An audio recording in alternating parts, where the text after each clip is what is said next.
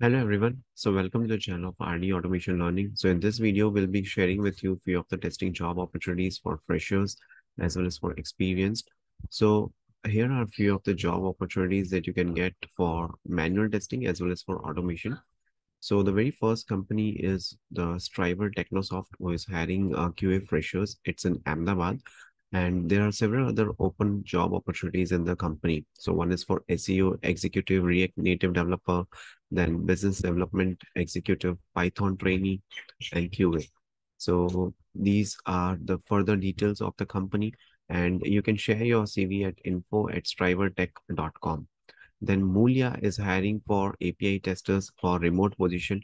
If you possess, if you have seven to eight years of experience and you are willing to work, work uh, remotely, you're willing to work work from home, then you can start immediately. You can share your CV at anvesha.roy at mulia.com. And you also need to share the following information like current and expected CTC, notice period, flexibility to work in UK shift, and subject line should be application for API test engineer, right? Then um, PwC India is hiring a skilled senior test engineers with experience three to eight years of hands-on experience in test automation, functional testing. Location would be Kolkata, Bangalore. Skills would be Selenium, Playwright with Java, Python, C Sharp, JavaScript, functional testing with API and database testing knowledge. So these are the skill set required. So you need to share your CV at anindam.it.js at gmail.com. And these are the further things that you need to take care. You need to share your CV in the PDF format. And this this has been, uh, you know, kind of a good thing, good practice. If you share your CV in a Word document, then it might or it might not open if the MS Word is not compatible in the recruiter's CV or the hiring managers or the hiring teams person. But PDF will all, always be compatible and it's very professional to share your CV in the PDF format only. Okay. Then uh, Telos, Telos International is hiring for software QA module lead. You can send your resume to this particular email address. Experience they need is four to eight years. Location is Noida. Skill set required is Selenium, Cypress, JMeter, API, then the WITS lab is hiring for QA engineers, experience one to two years. Location is Mohali. You can share your CV at this particular email address.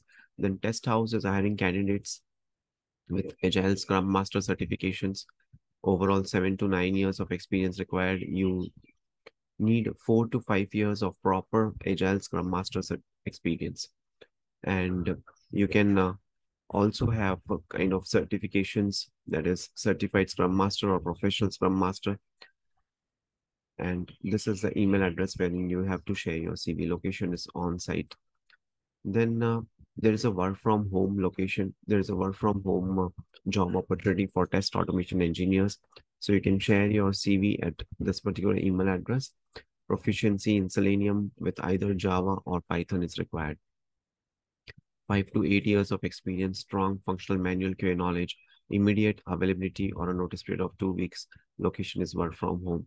Then one more job opportunity, which is for Chandigarh IT Park. It's a work from office location and you need to share your CV at this particular email address. The company name is Priority. They are looking for someone who knows manual plus automation database testing and experience required is three to nine years. Then one more job opportunity, which is for manual QA engineer. It's a remote job wherein they are looking for someone with four plus years of experience in manual testing and application testing. And you can expect CTC up to 20 lakhs per annum. So you can share your CV to priyanka.m at pratigna.co.in. So these were a few of the job opportunities in the field of testing, manual as well as automation, wherein you can apply and you can uh, get the interview calls and you can further get the job opportunities, right? So thank you so much for watching this video and stay tuned for more updates.